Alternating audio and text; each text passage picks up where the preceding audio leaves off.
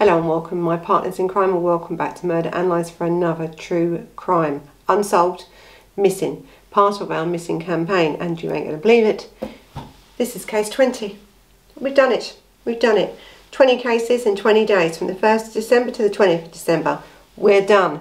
I wish I could have done more. And I'll tell you now, it hasn't been easy. It's been really, really difficult to get these cases out. A lot of editing and everything else involved, a lot of research involved. So I'm hoping I got anything wrong. I'm really sorry but it has been absolutely terrible to do all these cases in that way, but enlightening and heart wrenching sometimes to put out these cases because you're constantly reading over material and it's one child after another, one heartache after another that I've been doing for 20 days. And to tell you the truth, I think after this I'm going to have a big glass of red wine and just chill for about two days until I come back with more. But anyway, today we're on case 20 and we're on the very, very sad case.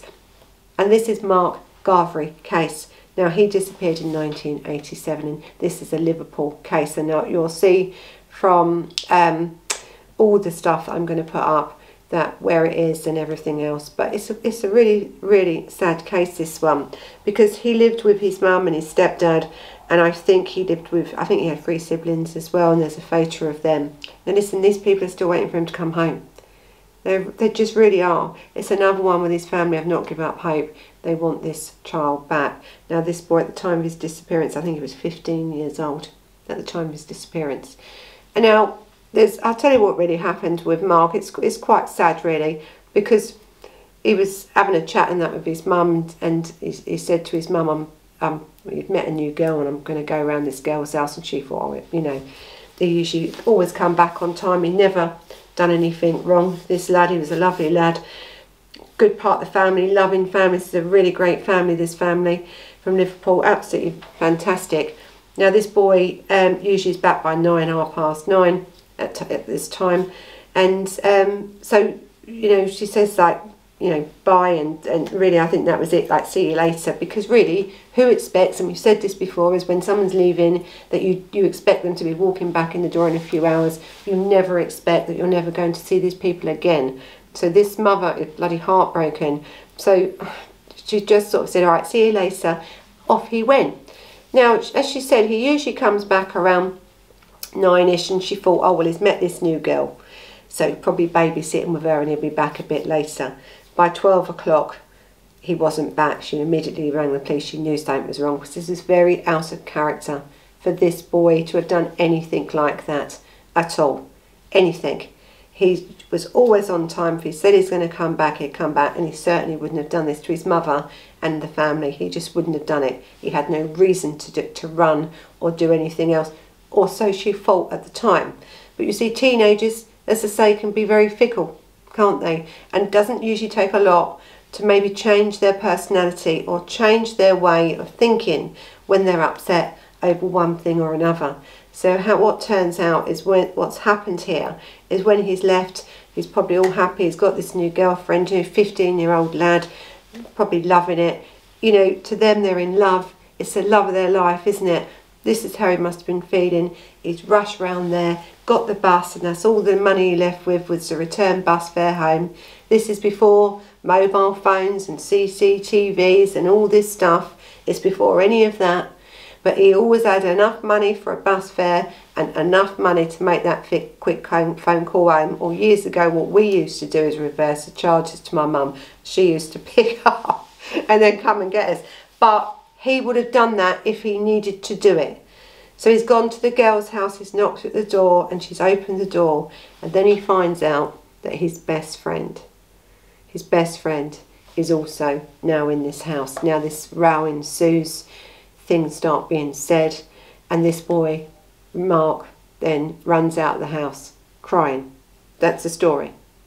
He is seen at the bus stop. Now he was at the bus stop. I've I've heard it. I think it was like the uh, Jolly Miller pub, and that. But I think his sister says a little bit different. I'll have a look at that in a minute of where he was last seen. He was last seen at a bus stop. Now, if anyone had seen him at this bus stop, and I'll go through that in a minute, um, he would have been in a distressed state.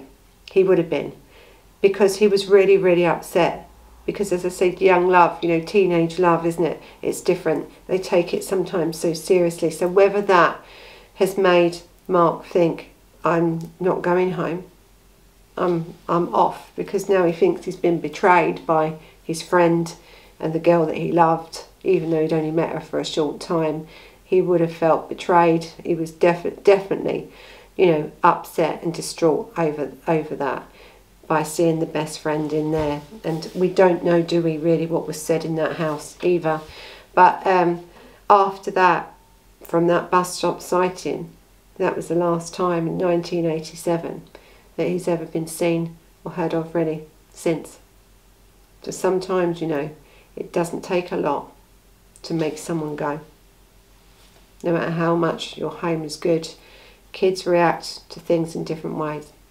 But something upset him that much, and it was definitely he wasn't upset when he left the house. He was upset when or if he left that house there, because since then, and we know he left there because he was seen at the bus stop. So someone from that bus stop, something has happened to Mark. Now whether that's by his choice or by foul play, we don't know. And that's what we're relying on, isn't it? People out there now with the internet and everywhere else around People may not have known about this case. People not may have heard about Mark's story, but now people know it. It's out there. And as I say, if something happened to Mark, or you know of something that happened to Mark, then you should say it. As I said, loyalties change all the time, don't they? And if Mark himself is out there and has decided that day to run away and feels that he no longer can come home after all these years, 34 years, I think, since he vanished. 34 years, very long time to hold guilt of running away or whatever. No one's in any trouble here. If Mark had run away, he's not in any trouble. People just need to know he's safe. They really do.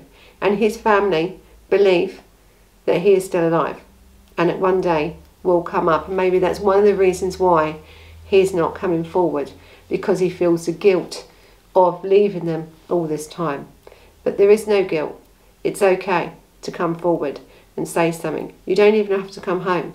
You just have to ring up missing persons or the police and say it's me. Give them something that they know it's you by and you can go on your way. If it's for another reason, if there's been any foul play here at all and anyone knows anything about that, please, please, please come forward. This boy was only a very young boy at this time in an absolute, absolutely distraught state at this point of this bus stop. He never rang his mother. He never done anything. But he was at that bus stop to go home, wasn't he? Because why wouldn't he? Why would he have been at a bus stop that he would have usually have got? He was going home, so something stopped him from going home. I believe. when Mark was going with this girl, he'd always say, Mum, get me my best trousers and shirt ready to go and that. So I got them ready on the night he went. And um, it was my little fella's birthday on the day after he went missing. And I was trying to get stuff ready, you know, for the party for the day after. And Martha said, Mum, go now, see you later. And that was the last I seen of him.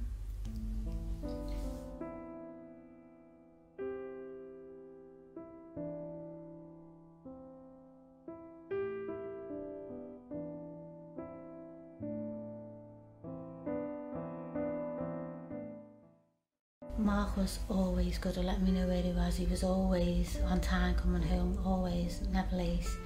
And that nice half nine came and I thought, oh, he's, he's with that girl, he's probably babysitting or something and fell asleep because he would never in 12 o'clock. That was it, I just phoned the police straight away. They went to the girlfriend's house and they said he left half nine to get home and that was the last we ever seen him. Marcos went to go to London, so me and Dennis used to go down to London every weekend, go around all the McDonald's and all the things, see if he was working there. But I never dreamt it'd go on this long. I just... I, I still think I'd know him if I see him, even though he'd be 45, I still think I'd recognise him. I, could, I couldn't, I had to take the kids to school, but I, I didn't want to go up the house in case he came. And it was just, um, nightmare. I, I'd even be standing upstairs looking out the bedroom window and I seen a fella with a white coat on what mark went missing and, and I ran off to the top of the road and I'm looking really thought I'd seen him. you, you, you just um, you're just looking all the time.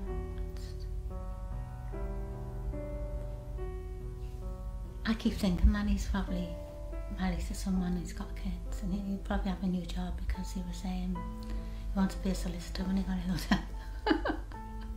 but it is quite clever. No matter what's happened, we don't care. You know, just one in back. Everyone misses them. A different world, I've never come back.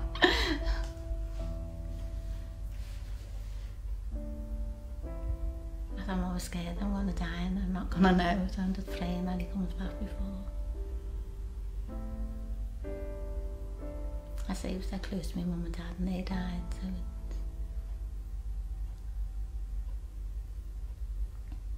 I say there wasn't really a reason for him to go.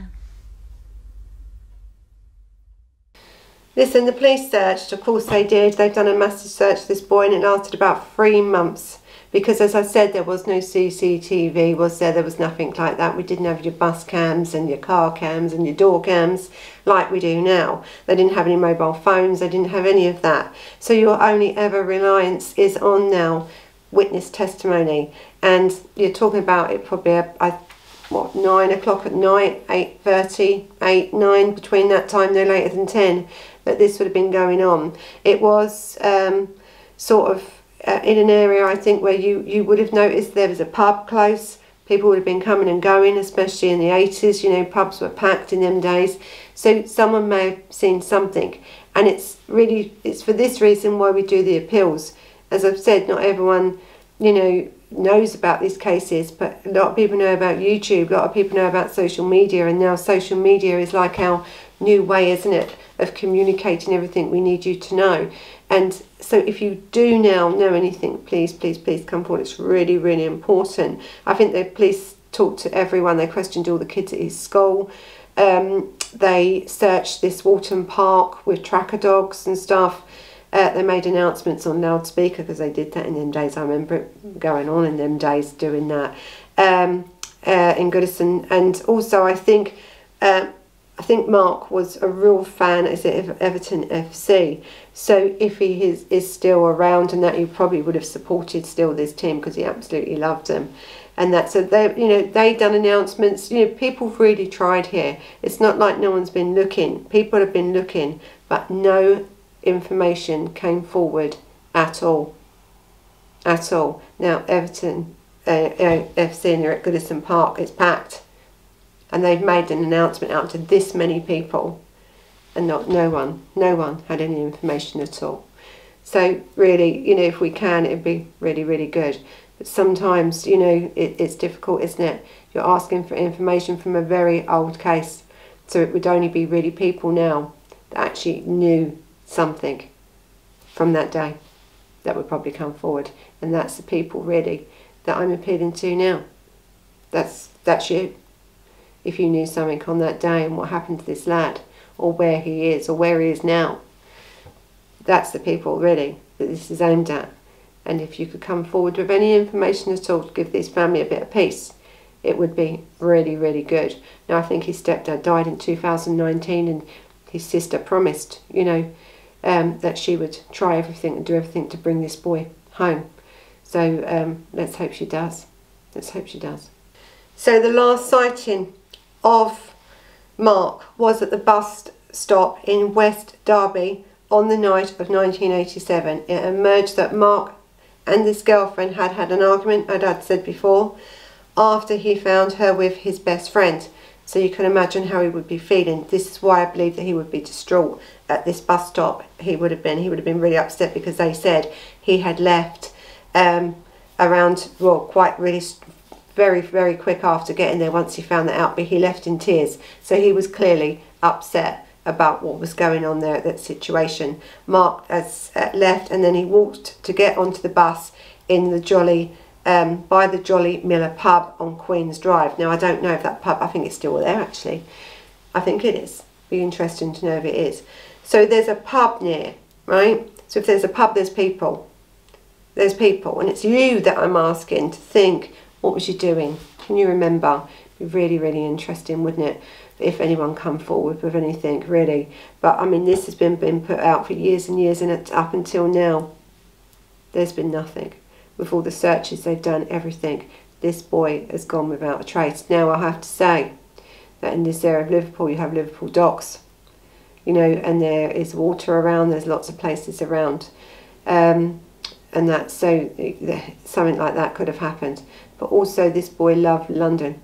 He loved London, and maybe he thought, "I've had enough. I've had enough of all this. Best friends pissed me off. Nick, my girlfriend. I'm off." And he's got on or hitchhike in them days as they did to London. And as his sister said, he may be in London, have a great job, a family, living his life, and just doesn't feel that he has the right to come back after all this time. Um, and wouldn't it be lovely if that's what turned out what it would be? What a great ending to the story that would be. And it's not that it hasn't happened before, it has. But usually there's some trace, there's some trace of him. He could have got anywhere, he could have done anything, couldn't he?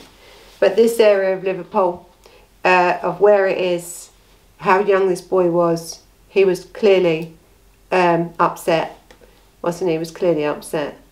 So it's really, really, you know, I think, um, do, uh, do I think it's foul play? Possibly. Yeah, I do.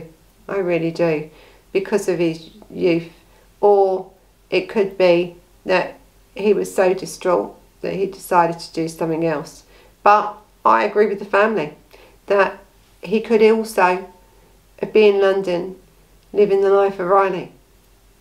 But if that is the case, then he needs to contact someone and let them know because these people have been waiting and waiting and waiting for him. His mother is really, to this day, distraught over this and just wants him home. So there is a clip, and I don't know, I probably would have played that clip by the time I get to this.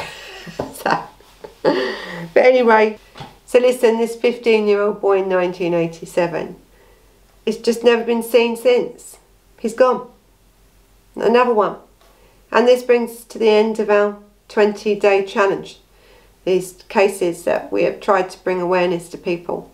And these will remain on the channel for as long as possible. I'm not going to take them down and we don't intend to be going anywhere.